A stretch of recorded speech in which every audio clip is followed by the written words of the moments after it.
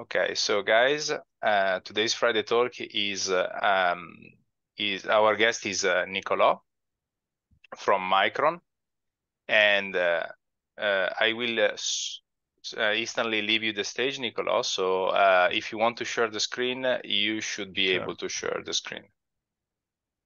Tell me if uh, the slides are visible. Yes, Okay. I want to put you on evidence. Okay, and Okay. now you can go. Thank you very much. Thank you for the introduction.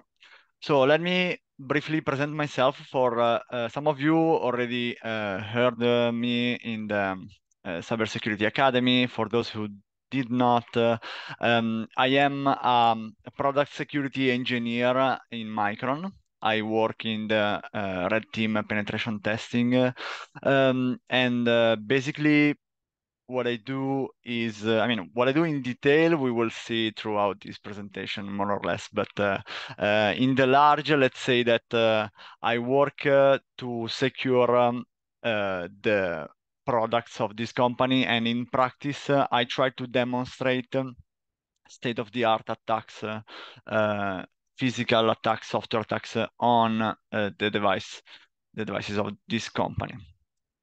So let me begin uh, with uh, just a, brief introduction about Micron because this company, even though it's pretty big, uh, it's not really known um, to the public, uh, mainly because uh, um, the customer of Micron are uh, OEMs, so are companies that produce devices for the end user. So even though most of you, if uh, you have, uh, let's say, an iPhone in your hand, you are uh, uh, you have a Micron memory inside your hand, uh, more than one, most likely. you maybe this is the first time you hear about this company. So um, Micron, the let's say the most important thing to be said is the only uh, memory manufacturer that is uh, based uh, in the in the West. So all the others are uh, Asian based and uh, Micron was founded uh, 45 years ago.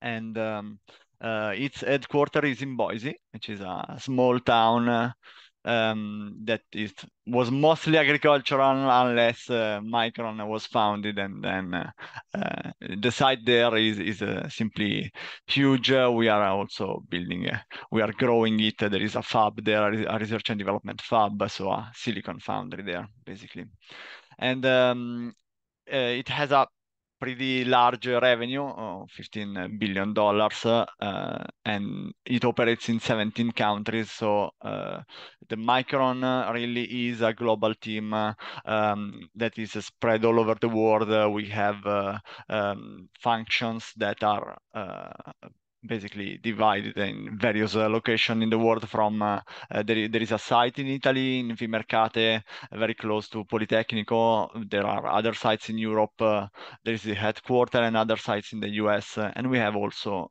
production sites in Asia. Um, Micron since it's a um, semiconductor company it it's let's say its richness comes from the fact that uh, uh, from intellectual property because uh, um, the point is that when you make let's say um, a light bulb anybody can make a light bulb. So the only way where you can sell your light bulb if you make it cost let's say less than others. While if you make if you make silicon tech then uh, you are creating something that uh, is so difficult in its making. It's so cutting edge because, for example, we heard about the latest nanometer processes. The latest lithography is like six nanometers. So you have a, a transistor which has a width of six nanometer. This this feature size is so small that just to make the device actually work, you need very a lot of engineering. You need a lot of engineering effort, and um, the way in which uh, this company is able to build memories that work, uh, it's what makes uh, uh, really Micron unique. So unfortunately, not anybody can make their own uh, silicon lab in their basement. But uh, um, so just to to go over briefly, uh, I I am a technician, not a businessman, so I will just tell you about the fact that the uh, we operate in the memory market so the memory market uh, is shaped more or less like this. There is uh, uh the vast majority of it like 70% of our revenue comes from DRAM and 27% uh, comes from NAND. So even though DRAM is uh, like one of the oldest form of it, has been around since uh, basically since the inception. The first Micron product was actually a DRAM, and we are still manufacturing those because we haven't come up with a technology that uh, has the same performance and the same cost and the same reliability yet. So we are still um, manufacturing lots of DRAM and uh, um, also, DRAM and NAND, let's say, are two ways of distinguishing our products uh, according to the technology. However, uh, even though they are the same technology, these two kinds of devices get packaged into uh, form factor that uh, uh, in the end are assembled in uh, a mobile phone or a car or a server. In fact, we are operating on four main basically businesses, uh, the computer networking, which uh, um, basically uh, consider all the data center environment um, and uh, as well as the network devices. Uh, we have the mobile business unit, so we we for a mobile device, for a mobile phone, uh, you get DRAM and NAND are packaged in very small packages that can um, be compatible with the size of a phone, uh, which is, you know, has have. Uh, if you ever saw an X-ray of a phone, or if you ever uh, disassembled a phone yourself, you would notice that there's a lot of, uh, you know, there's very little empty space in a phone. So you cannot afford to have a very big DIMM stick lying inside your phone. Um, we have the embedded business unit that includes the automotive and industrial um, applications, and we have the storage business unit that uh, basically uh, it considers uh, all the data that is, for example, um, the products that end up in a data center, for example, enterprise SSDs that need to be to have a capacity since in a data center. You are, I mean, not in the same way of a mobile phone, but you are also limited by space because uh, every uh, rack uh, unit that you uh, occupy creates more, occupies more real estate, requires a separate cooling process. So um, uh, data center operators are interested in achieving high density devices because uh, they it might be uh, an opportunity for them to cut costs. This is why, for example, we are able to manufacture SSDs which have uh, nine more than 900 terabytes of storage in a single drive that is the size smaller than my mobile phone. So this is really hard to to imagine that the amount of data that you can store, but you just uh, have to stick a lot of uh, NANDs inside. I'm making it easy, but obviously it's uh, much more complex than this. So um, the main ca categories of products that uh, Micron uh, operates on and Micron produces basically are, uh, so we, we divide, we have uh, on the left uh, memory devices and on the right we have storage devices. So memory are mostly DRAM based and uh, we have uh, something like a graphics and ultra bandwidth solution. So GD the GDDR5X uh, uh, that is in your PS5 if you have one, or the HBM, which is a um, an very cutting edge technology that basically has uh, it's used for high performance computing. So it's used in uh, uh, um, data centers that are tuned for uh, performance computation. And you get uh, uh, your silicon processor that is stacked with the DRAM controller. And stacked on top of the DRAM controller you have several dies of DRAM. So this is a um, can achieve a very high throughput because um, all the data travels through a very short distance so you can push uh, the frequencies uh, of the link and you can exchange data faster than you could on a DRAM stick. Uh, then there's uh, the other DRAM, basically the DDR5, DDR6 uh, sticks, also DDR4 are still uh, uh, manufactured. And um, then uh, you have the storage size, which mostly is solid state drives that most of you probably are familiar with. they can be the consumer level products, they can be the enterprise level products. Uh, the difference is mostly in uh, uh, the quality of the component and, for example, the performance. Um, because uh, for a traditional, let's say for a consumer product, uh, you have a single user typically, while when you ship to a device to a data center, uh, it mostly gets loaded into a server that maybe hosts thousands of virtual machines. So you you get that the demand for memory bandwidth uh, scales uh, and is uh, far higher in a data center. And then we have also uh, raw flash, raw NANDs, basically. So sometimes our customer uh, do not want to have a device in which you can directly issue block reads and block writes, but maybe they want just their own NAND. Typically, this is done in um, either in uh, uh, applications where uh, the OEM wants to have the complete control of the NAND. For example, in iPhones, you have a, a memory controller that is designed by Apple, and then they use NANDs, raw NANDs, and they are able to get a, a very uh, a huge performance because they control everything, or when they want to cut costs. For example, in, in routers, uh, most uh, uh often when you open up a router, you find a raw NAND inside. So that's because uh, the raw NAND is cheaper than a managed NAND, so an NAND that can expose a block device. And in that case, usually the um, what is called the flash translation layer, so the conversion from uh, raw NAND blocks to something that is a block device is done in software in the Linux kernel.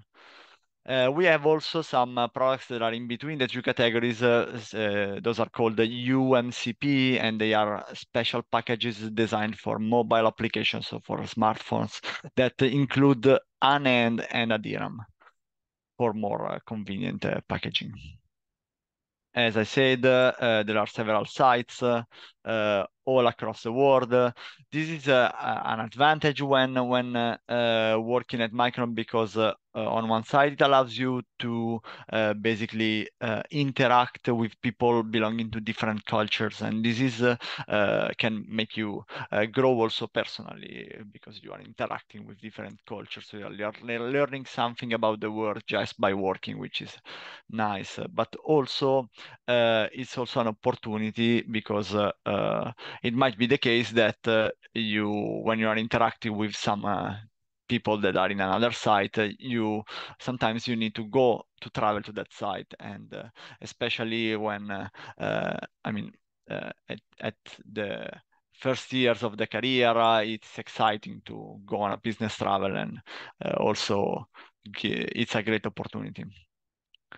So, um, talking about what so as I already said, I am in the product security team, but uh, what uh, creates, let's say, what, what characteristics uh, should uh, a good candidate for our product security team have?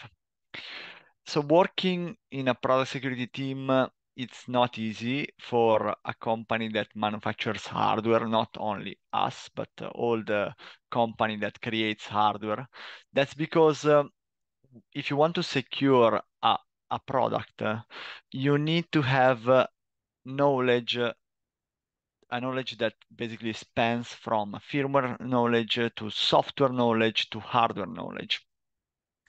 And um, I'm differentiating firmware and software because I, I mean for software, let's say higher level development and for firmware, let's say more lower level development.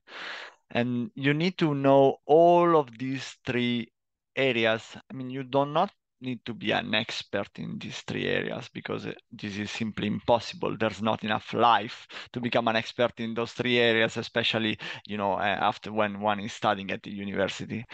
However, you need to have uh, maybe one main competence, but a broader understanding of what you're doing and how it interacts with maybe maybe one is an expert on firmware but still knows what happens in the above layer what knows what happens below him or or uh, vice versa for the other characteristics.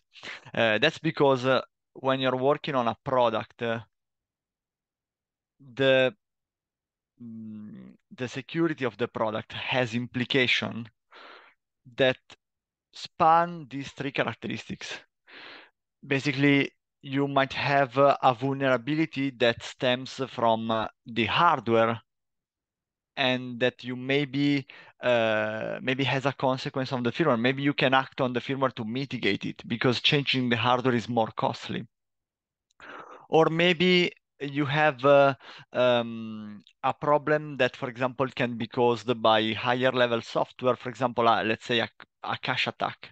A cache attack is uh, something you typically implement uh, in a very high level because uh, um, it's very hard to hide the latency of the cache because uh, if a cache has constant latency, that means it's not a cache. That means it has the size of the memory it wants to mirror. So uh, a cache will always have a latency. This means that in a system, you will always uh, have the side channel, the timing side channel of the cache that tells you whether an address was recently used or not.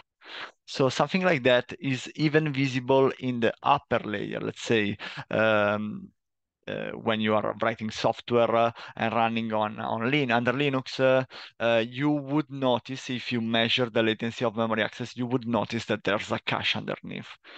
And however, the cache itself, it's a hardware mechanism. So to fully exploit uh, a cache attacks, for example, to um, to steal data, you need to understand, you need to sometimes reverse engineer how the cache works.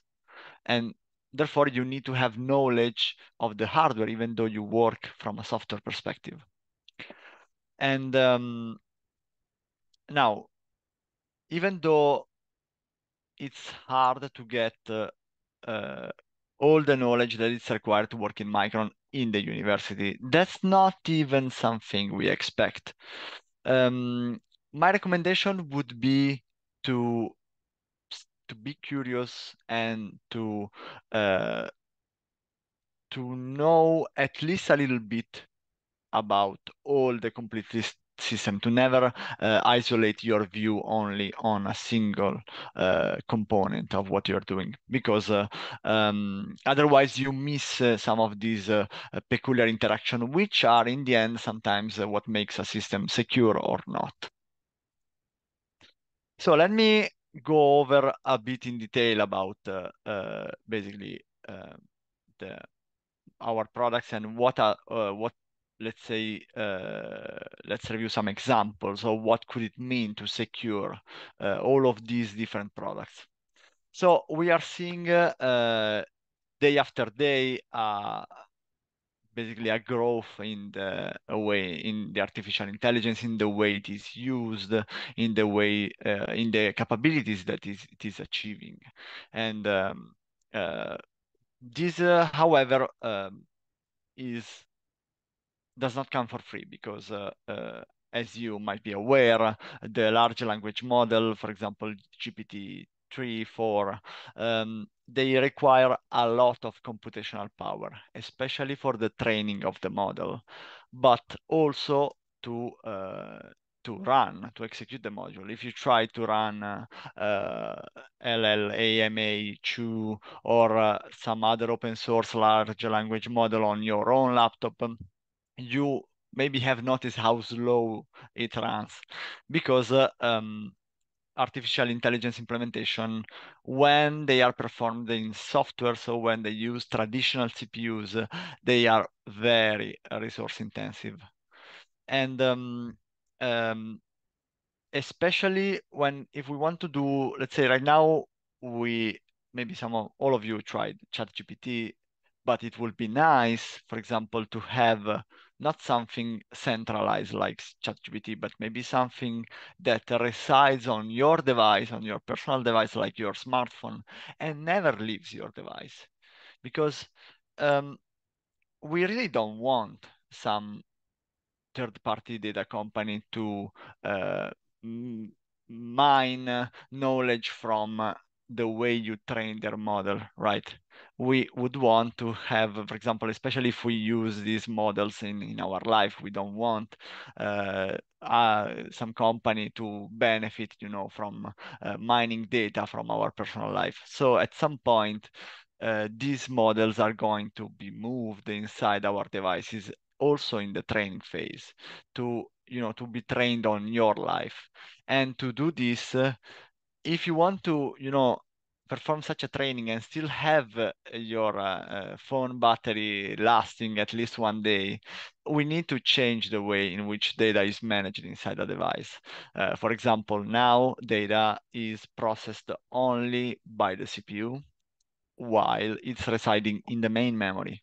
So when you want to perform any operation on the data, you need to take data from the NAND. You need to copy to the RAM using uh, uh, some sort of uh, mechanism like DMA that travels through the UFS link of the device. And then you need to operate on the data while it is in RAM.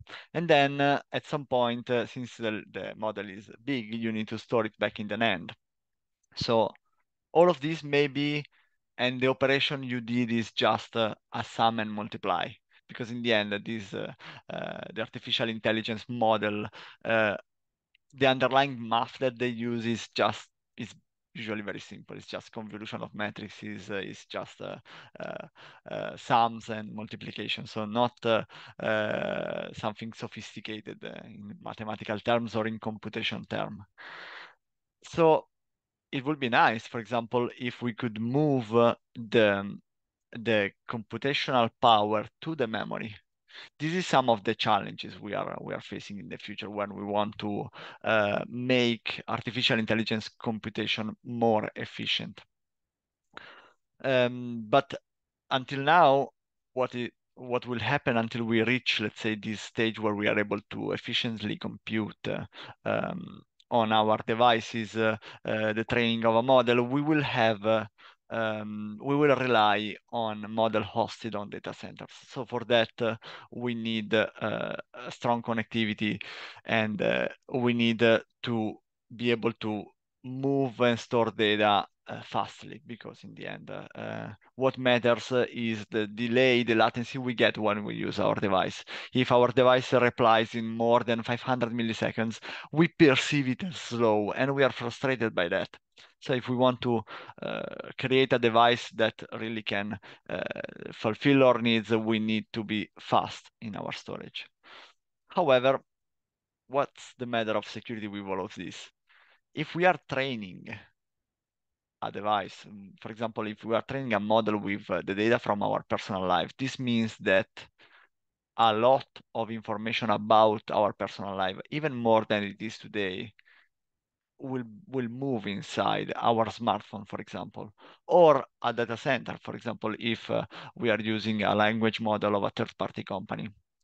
This means that uh, we we get some high stakes, so some let's say uh, some third party might be interested in stealing that data. For example, uh, a third party might want to, right now, we are seeing a race to artificial intelligence where the company that possesses the best model uh, basically can uh, uh, dominate the other companies just because uh, uh, you need a good model to have a, a, functional AI. It's not only, let's say, the uh, the algorithm. You need also to train it very well. So there are estimates in that AI model could be worth something like uh, uh, ten million dollars a single model. So you get that an amount of data. I mean, in since the inception of computer security, it was credit cards. The smallest bit of information where you can get the most money out of that. However, this AI uh, uh, revolution basically is creating, is accumulating value in these models, and an attacker might be interested to steal these models. Now, um, in a system, if the models are stored in the storage, it might be the case where the storage is trusted by the device. For example, for performance reason, sometimes uh, you, uh, uh, I mean, you can make use of a so-called self-encrypting drive, which is an SSD in which um, you put the data and the disk, the, the SSD encrypts it itself. So it, it receives the data in plain text and it encrypts it and stored it encrypted. This means that the encryption key is actually in the SSD itself. Now, uh, in theory, that should be unlocked by a password that you provide as a user, but uh, in a data center becomes a bit harder than that. Anyways, we get that if the device is trusted by the system, you need we need to secure the device. Otherwise, the user data are uh, in the hands of anyone who could hack our SSD, right? So you need if uh, one, let's say 960 terabytes disk contains a model that is worth 10 million dollars. That disk is worth 10 million dollars. Now try to imagine an attacker that was, wants to have a good return on investment on $10 million, is willing to spend, for example, half million dollar on the attack and it will still be a good investment if he can get the model, right? Now we're talking about uh, crime here, so don't take my words as a recommendation for committing crimes. I'm just uh, speculating for uh, uh deliver some ideas about uh, product security the the main idea is the fact that your attacker might have a lot of money, might be willing to spend a lot of money on hacking your target, which means that, I mean, the ways in which you can hack that, a target, um, they depend. So let me let me switch to this. Basically, um, you the different attacks that you can perform, you can attempt on a device have different costs. Uh, for example, the cheapest one are the software attacks. For software attacks, you just need to, uh, for example, intercept uh, a firmware upgrade of from, for a device uh, from the internet. Uh, those are publicly hosted there because uh, systems need to be updated. And you can start uh, reverse engineering that uh, and you can find a vulnerability. In that case, uh, you paid I mean, you can do that with zero budget because uh, we have a, uh, there exists, let's say, an open source uh, uh decompiler, which is uh, Ghidra by the NSA. So you can even get there without spending zero money. However, when your budget, when your attack budget increases, you can start to you can get some other, let's say, more creative uh, attack attempts, uh, also more fun attack attempts. But this is uh, obviously uh, my perspective. For example, you could try a physical attack. What if uh, you um, pay someone to extract uh, from the data center the SSD that contains the model and bring it to you? I mean, you can do that. It has a cost. Um, so if you get physical presence, if you get your hands on the drive, there are a lot of different things you could do on that. For example, you could try to um, bypass the security uh, measures using uh, invasive attacks, such as uh, fault injection. Uh, fault injection is a way in which uh, you uh, attack a device by injecting a malfunction on the device itself while it is operating. For example, dropping the voltage to zero or shooting an impulse on that or shooting it with a laser. These are all different ways documented in the academia in which you can cause a malfunction on the, on the device. Actually, it's pretty easy to cause a malfunction because devices, you know, they work just because uh, engineers have spent a lot of effort in trying to make them stable. But you just have to change the environmental condition to bring them outside of the boundary which the electronic engineer have thought for these devices. For example, heating up a device might have an effect on its operation. And you want to be able to corrupt the behavior of the device such that it is no longer able to maintain the security properties that uh, he was programmed with. And if an attacker is able to do that, he can force open the device, basically. Uh, there are other ways in which uh, you can at attack a device. For example, you can use a side channel analysis, which is a way in which you record the power consumption of the device while it is processing a secret, while it is, uh, for example, encrypting using AES. And you use that data, the, the power consumption of the device, you, you can measure that. You hook up a multimeter to the device and you record that using, for example, an oscilloscope. Uh, that information is correlated with the secret inside the device because uh, the device uh, switches more or less transistor according to how the bits are stored in the secret because if it needs to do something with the secret, it needs to consume power in a way that is proportional to the secret in with some correlation, positive, negative, whatever. An attacker might be able to exploit that. He might be able to collect a lot of traces because in the end that information is present, but it's very faint in such a trace. So an attacker wants to maximize the signal that is getting out of that uh, trace. So for doing that, he might be able to, for example, average over a large number of traces and try to extract correlation with the key. All of these attacks uh, are documented in the academia and uh, they are also uh, very fun to play with, especially in academic environment. Uh, uh, if you're interested in something like that, uh, there are uh, lots of uh, research groups in the Polytechnic that are working on uh, this kind of topics. If you're if you are interested, let me know. And but obviously.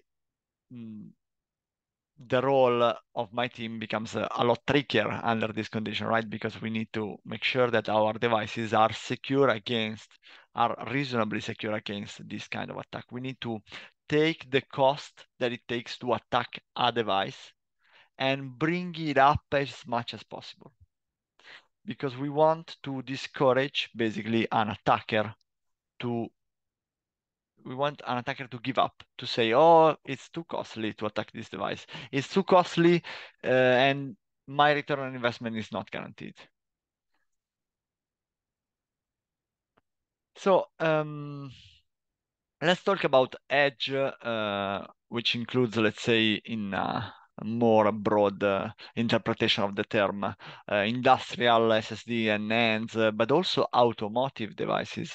So we are seeing in the latest years uh, the uh, rise of electric vehicles, the rise of um, the more vehicles become software um, driven, the more you get uh, features like uh, self-driving capabilities, the more you get that your device needs to be trusted by the, the pilot, but it needs also to be trusted by the community because a car that uh, goes crazy while it's driving in autopilot mode might kill a pedestrian that is not even the owner of the car. Maybe has not seen the car beforehand.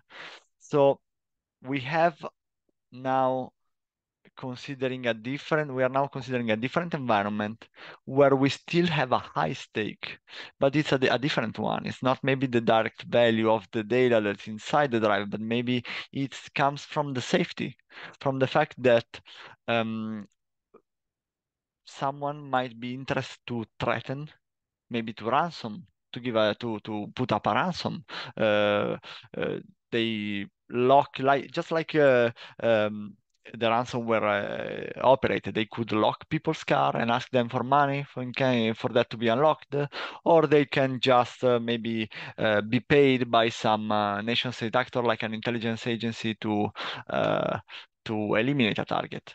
Something like that um, is definitely implicit in the nature of a car, which is a very heavy, very powerful object that can move at high speed. So in this case, uh, the work of our team is, you know, uh, similar in the means, but very different in the scope. Because, for example, we need to go hand by hand with safety we need to ensure that our the devices are compliant with uh, new rising standards like the ISO 21434, which is uh, is recent, is basically uh, was recently re released and uh, describes the way in which you should document all the process of the security analysis of a device to make sure that uh, uh, the chance that an attack, the device is subject to an attack is minimized and also to make sure that in case something bad happened, you can understand what went wrong and you can fix it. So there are some uh, uh, rising regulations about uh, cybersecurity in automotive. And all of this is a very interesting challenge to try to secure automotive de devices and indirectly to increase the security of people on the road and of people driving cars.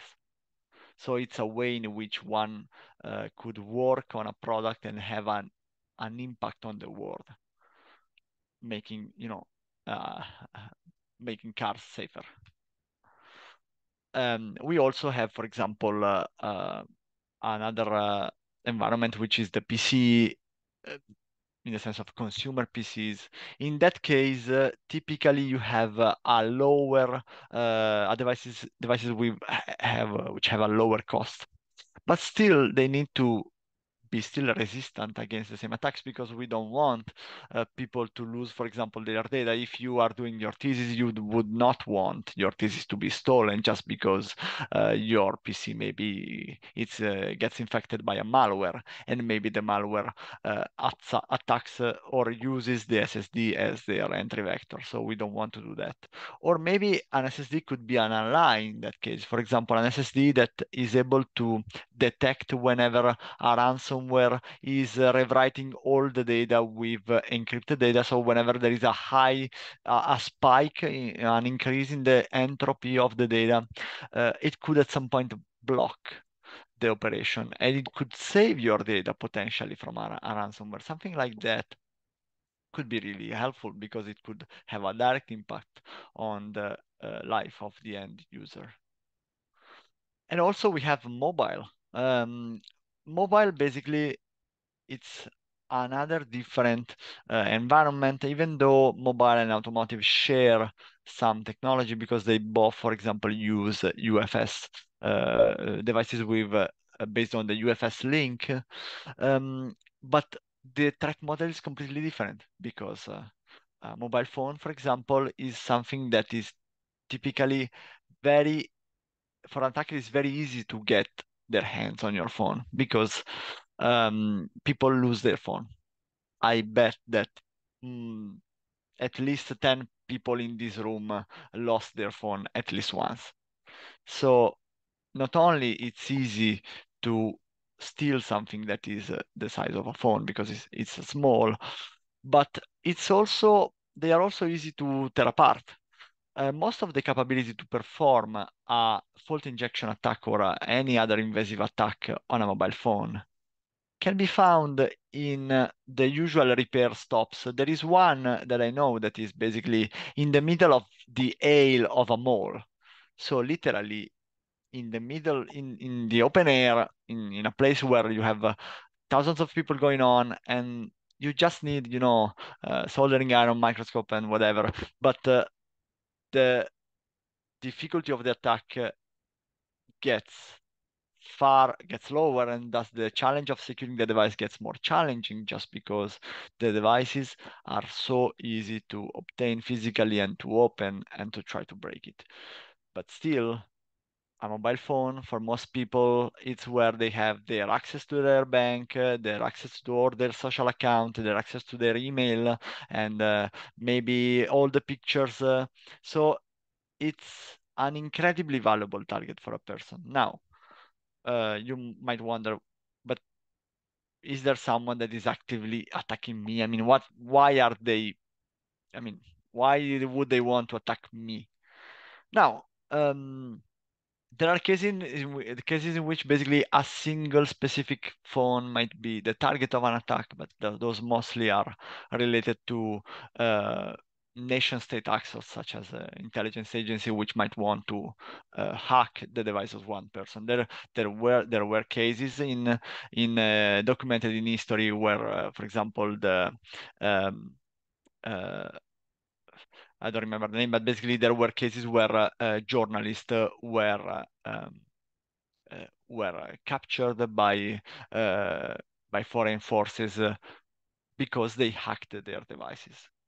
So um, a phone is also a giant tracker that you carry along with you. It has a GPS uh, antenna, it has a permanent data connection, so it's the last device you want to be hacked.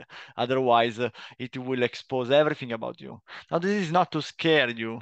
This is just to highlight the importance of uh, securing such devices. And the critical thing is, for example, that Android devices from mid to low range, they trust the UFS storage because they trust the UFS storage with the pin unlock count of the sequence. They trust it with the signatures of the trust zone applets. So memory is really a trusted component in a lot of uh, smartphone out there.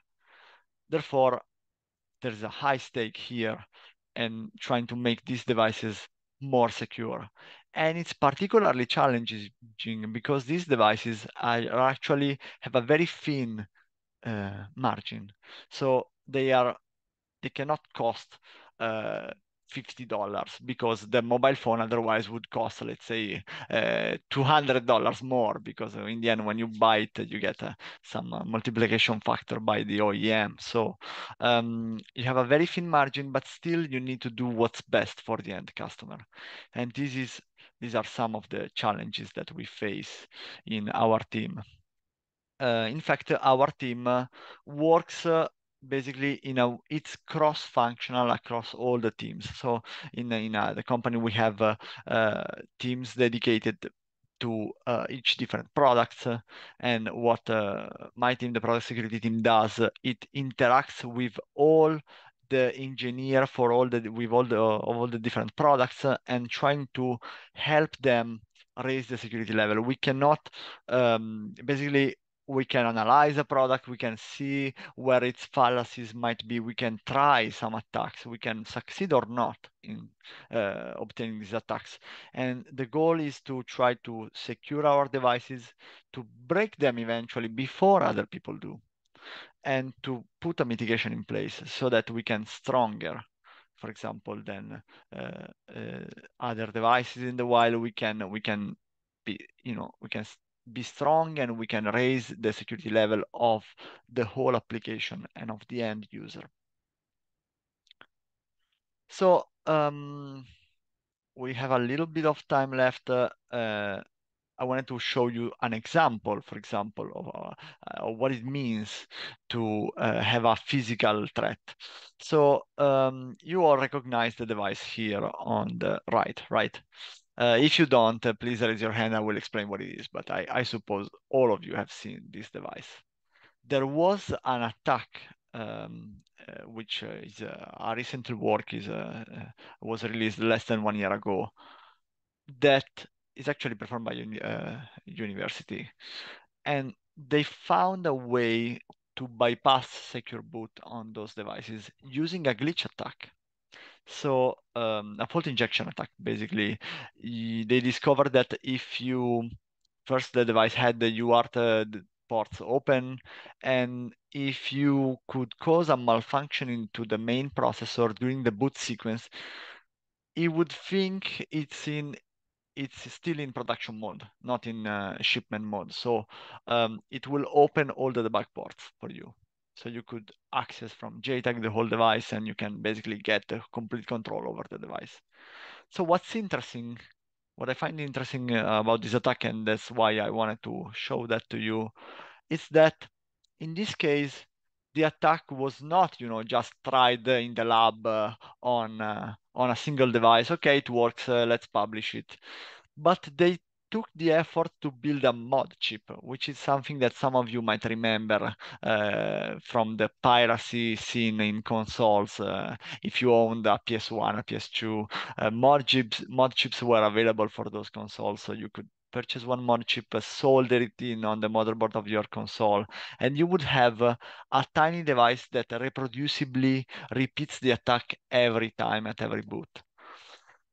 Something like this shows uh, the the fact that I talked about the um, basically described fault injection attacks uh, as if they were they could cost uh, half a million dollars, but if you take a look at this device, this is the mod chip, and you can already tell, I mean, I can figure out the bill of material in my head. So this is the Raspberry Pi 2040, this is like cost a few dollars, and you have uh, a handful of passive components. You have a MOSFET, uh, this is cost a few cents. Uh, you have some, uh, some capacitors and some real estate of PCB on which to solder all of this. I mean, most of you could solder this board by hand.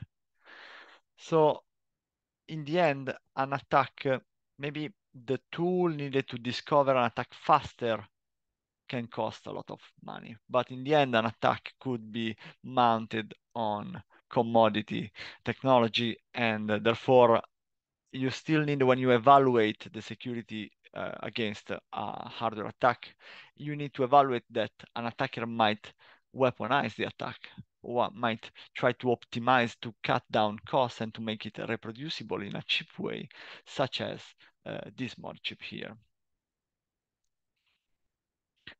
Now, um, let me uh, leave um, the word to Chiara, which is uh, uh, part of the HR uh, in Micron that can uh, tell you more about what it means to be working at Micron. Please, Chiara. Thank you, Nicola. Uh, I hope you can hear me. Okay. Yes. Yes, so, we can. Thank you. Thank you for feedback. Uh, I do not want to steal too much time to question and answer slot. So just quickly, if you can go uh, to the next page. Thank you. So as Nicola mentioned, uh, working at Micron is uh, uh, means to uh, face a, a, huge amount of challenging activities in a challenging market. And for this reason, we do have tons of functions that are working, uh, let's say, in a connected and coordinated manner uh, on uh, several products to like gears. So I do not want to focus on the roles uh, because uh, uh, I mean this is uh, focused on cybersecurity. So uh, the essential thing here is that collaboration is really a key, uh, is the engine that moves all of those gears.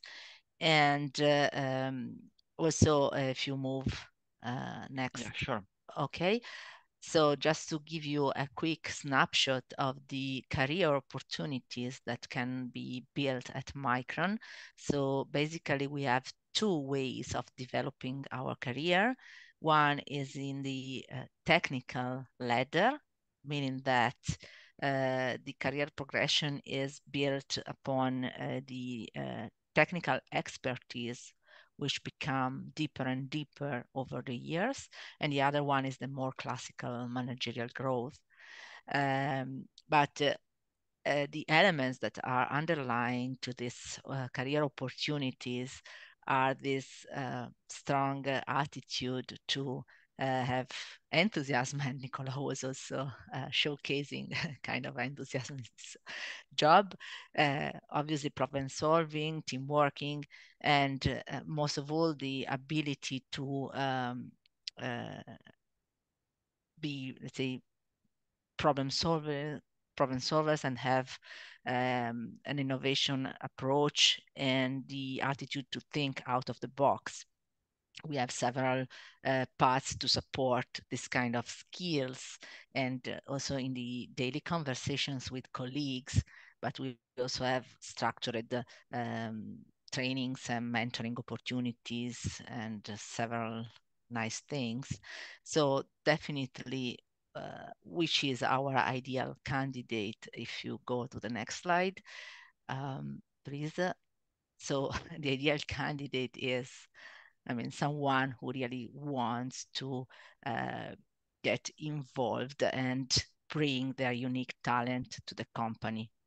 Uh, you are all uh, engineers, so or you will be soon engineers. So uh, no doubt that uh, you have a solid uh, background in terms of hard skills. So just bring your enthusiasm and unicity in the conversation with Micron when you look for a job here. So if you have uh, then any specific question on uh, HR related or career, just please uh, let me know. Thank you. Thank you, Chiara. And um, as well for the for the um, technical part, if you if you have uh, any question, uh, uh, we I can answer at those. I mean, I can try to answer now, or eventually, um, I think you can uh, maybe also leave me a, an email. Um, uh, Lorenzo, I would give back the word to you. Yes, thank you, Nicola. Thank you for your uh, talk. It was very interesting. I have some question actually, uh, but first I would like maybe someone uh, from the chat, uh, someone that is following. You can write the, the the question, or you can also turn on the mic and answer directly and uh, ask the question directly. Sorry.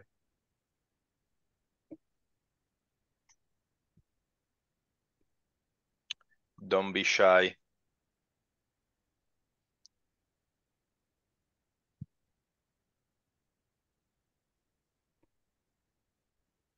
Okay, we have one question. Davide, uh, for the HR, what's what are the most important things you're looking for during an interview for you? Uh, I have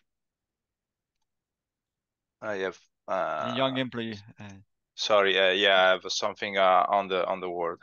Okay, uh, okay. The most important thing, uh, let's say that it's. I understand it's a bit generic, but is that the person is fitting the position, which is for sure, um, let's say, starting from an evaluation of the skills that uh, the candidate is bringing. So for a position that requires to be able to program in a kind of language, for sure we need to assess that we do have this competence, just an example.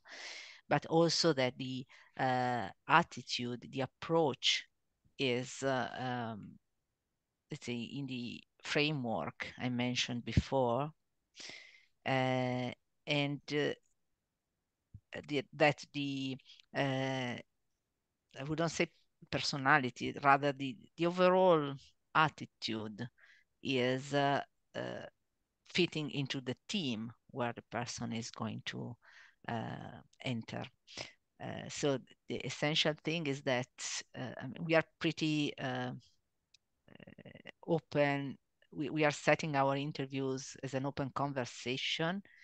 And when it comes to HR, we really uh, want to understand motivation and aspiration of the uh, candidate just to make sure that we get the best fit, uh, not just of a candidate for the position, but also of the position for a candidate.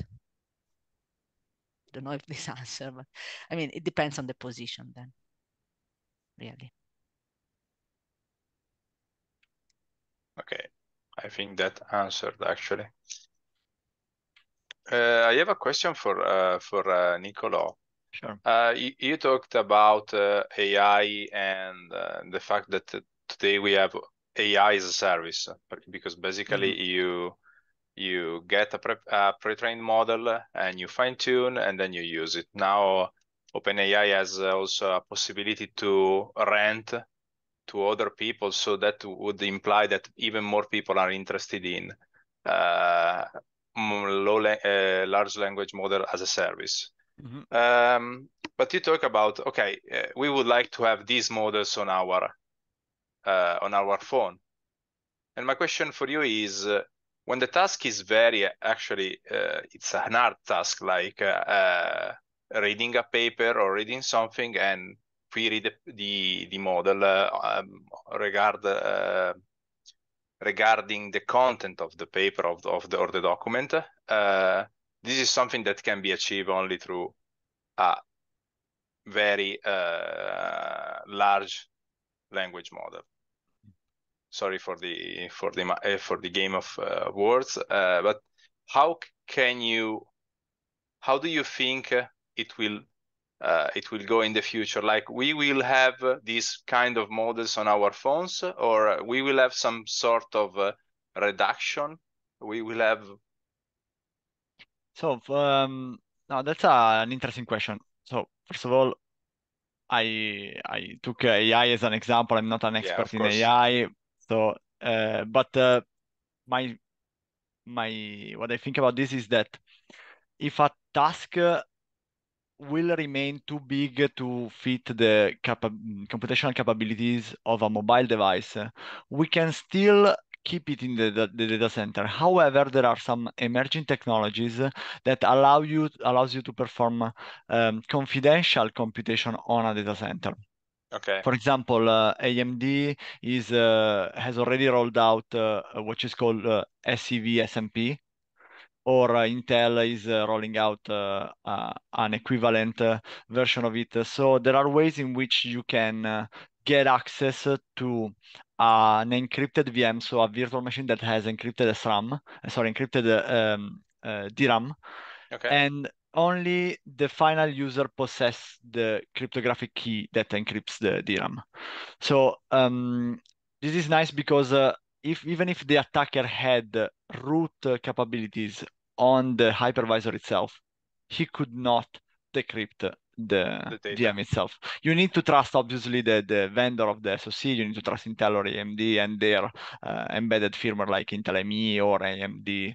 Uh, but I think that could be a way so to further expand uh, all of these engineering uh, cases where uh, you can, uh, for example, get uh, an on-demand uh, encrypted VM and upload the computation there and then get the result. And uh, all of the in those cases, Micron memories play a role as well because this uh, protocol typically trust the storage itself because they want to offload the encryption of the memory to, for example, a CXL device. And it's important for uh, uh, Micron to make a device that is secure so that uh, with the assumption that we made that uh, only uh, the end user can access his data stays true. Seems a reasonable assumption, of course. Thank you very much. Uh, we have another we have another question from Ray. Uh, how can you secure a physical memory? Acting, for example, on a firmware on the controller, or by also designing a secure silicon? So thank you for the. This is a very interesting question, and the answer is both. So typically, when you want to implement a mitigation. Let's say let's take for example fault injection mitigation but this is has a uh, reflects uh, in all the uh, physical threats. You typically have both hardware and software mitigations. And uh, you want to consider both uh, why? Because uh, manufacturing silicon takes a lot of time an awfully lot of time. Just the the manufacturing itself, so when from the grain of sand to the final device shipping in its box, it takes almost a year. Just because you have to create the silicon, you have a, a ton of like a lot of steps that the silicon has to pass. Like you create uh, the, the bowl, you slice it into wafer, you have to process the wafer with different steps, and you have to wait between those steps. So just the the bare production of the device takes a lot of time. If you add in the development and engineering of a device, you end up with the fact that when you work on a device, for example, if you want to influence, if you want to change the hardware, you will be able to do so only on the device that will get in the market in three years. So if you want to fix your problem before that time, you need to start with software mitigation, which sometimes they are the less effective, sometimes they have a hit on performance. They are not, typically they are less efficient and I would say less effective than uh, hardware mitigation, but you can roll them out immediately with uh, a firmware update.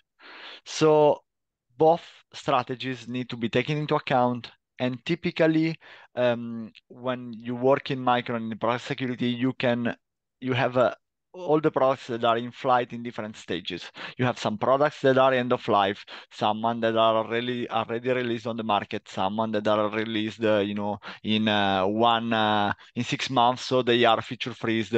Someone that will release in three years, and for every uh, position in the production pipeline, you need to adapt the way in which you influence the device in terms of uh, computer security because uh, um, for every position in this production pipeline you have different possibilities. And i hope you you i answered your question. Okay i see i'm seeing another question. Mm -hmm. Uh, does Blink CTF and learn cybersecurity stuff on platforms such as uh, TryHackMe, Hack the Box helps finding a job as a penetration tester, red teaming, especially for a student with no experience in, in working. I would say yes, because uh, uh, learn uh, Blink CTF uh, teaches you. I mean, you need to see it as still as a practice. So when you um, CTFs are engineered to be solvable by human in, a reasonable time. When you when you what changes when you work on a real device is that uh, the real device is not engineered to be hackable, supposedly. Otherwise, it would be a backdoor uh, backdoor device, and that is bad. So in general, what changes is that uh, you need to grow in on the work at the sensitivity on what is the right path to perform your task? What is the easiest path to attack?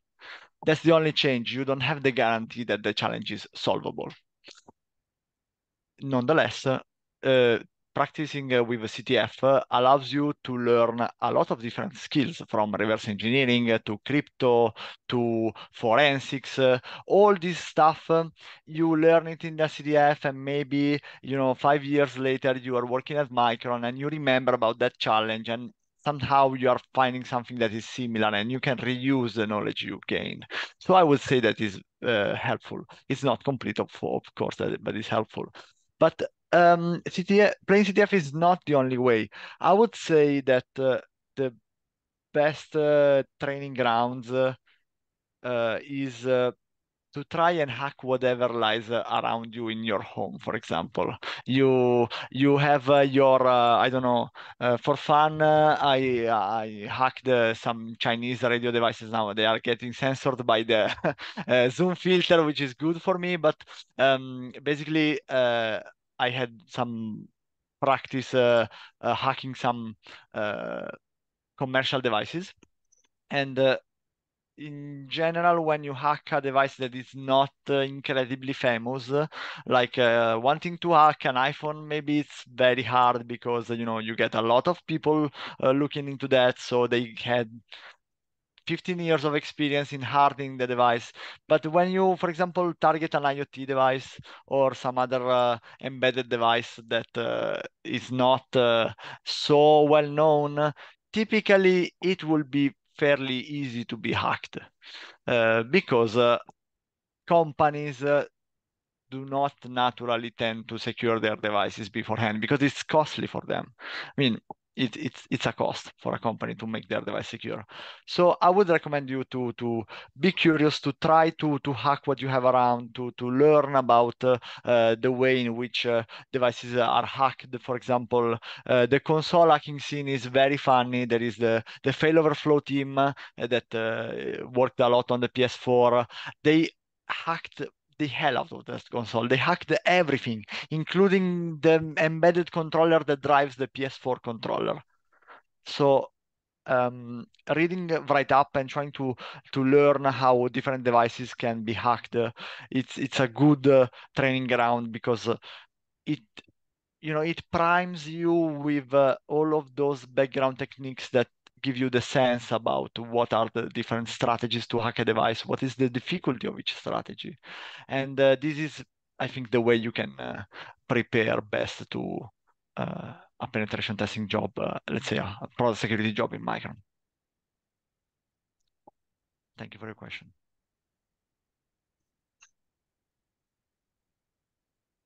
Okay. Uh, I have a last one. Uh, mm-hmm. If anybody else doesn't want to actually uh, uh make a question, um, I was. Uh, you show us before the the exploit on the on on the glitch. Uh, on yes, this one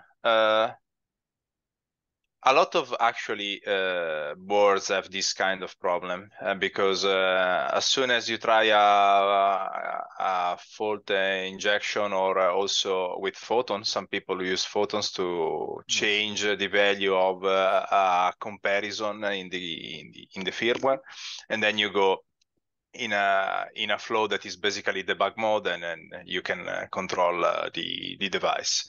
My question is a lot of vendor, including ST, uh, do have uh, a readout protection or some sort of uh, defense that is still software and basically uh, disable completely the, the, the, the debug interface, the JTAG, but it's software. So you can actually change the value of this uh, configuration and it's okay. You cannot do it uh, by by a programming interface but if you volt glitch you you can mm. my question is how uh, unrealistic is to uh, make a a, um, a chip a board that doesn't have a debug interface at all mm. so this is a it's a good question and uh, it's something i can uh, um, so I, I I witnessed this, this discussion on all many products. Okay. and um, the problem is that you have uh, two opposing uh, desires. So product security engineer want to see the bug interfaces disappear. They want to see a device that has uh, the minimum possible interface and everything is, you know, uh, there are no memory errors and you get uh, uh protocol, a protocol that is formally verified. This is their desiderata. But on the other side, you get uh, all the field engineers, all the people that work on RMAs. Whenever a device uh, um, misbehaves in the field, typically uh, once the OEM uh, is able to, uh, let's say, let's make a practical example. There is a car that reboots itself. Uh, the manufacturer of the car will go take the, you know, perform a recall of the car, so give a new car to the user, and then it will take the ECU of the car, will analyze it themselves. Maybe they realize that it's the fault of the Micron device. So they will ship the entire ECU to Micron, and Micron needs to understand what is going on. Of now, course. at this point, you can see that uh, you want to have the opposite. So you you would want to have a device in which you can really have everything open. You can look at every single bit because it that will make your uh, basically your time to uh, analyze an RMA reduced by a lot. So here there are opposing factors. Now this is uh, actually something that can be uh, that has a let's say a reasonable trade-off. So I would say that the best way is not to eliminate the, the bug ports because otherwise uh, the device uh, uh, becomes also less repairable. So you, you need to throw it away and buy a new one. And you would never know what, what was broken. So yes, you would. That's actually the point, would, I guess. It's, it's not easy to fix the problem on all the other products. So, um, and that's a, a money issue. However, you can have the bug ports the whole point is to secure them properly.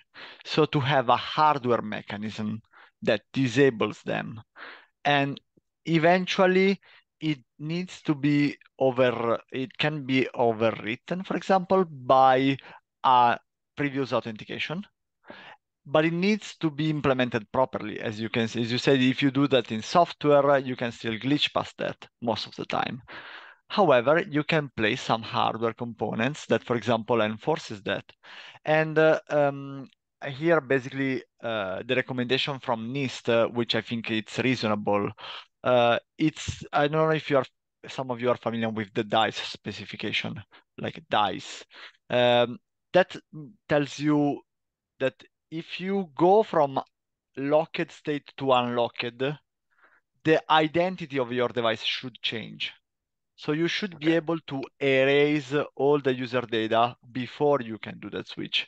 Because in the end, the RMA, you know, uh, the return analysis process, uh, they might give up on user data. Maybe the user data is actually causing the fault, but it, this is a trade-off. You know, we are kind of uh, rolling out. And just, for example, deleting all the valuable assets that, that are on the device when unlocking could be a reasonable solution because in the end the device is unlocked but there's no but nothing there to be to be found. But still then you need to ensure that everything is deleted properly you know. Uh, it's uh, it's still uh, it's not a, a, a an easy not, task. Mm. yeah yeah yeah. I'm not giving you you know the perfect solution. This is a, an interesting engineering problem and uh, you will always need uh, debug ports. But there I mean, actually it's an, an interesting uh, problem in how to properly secure them. And there are strategies, especially if, like Micron, you control the hardware, because uh, you can actually design some mechanism that lets you do that.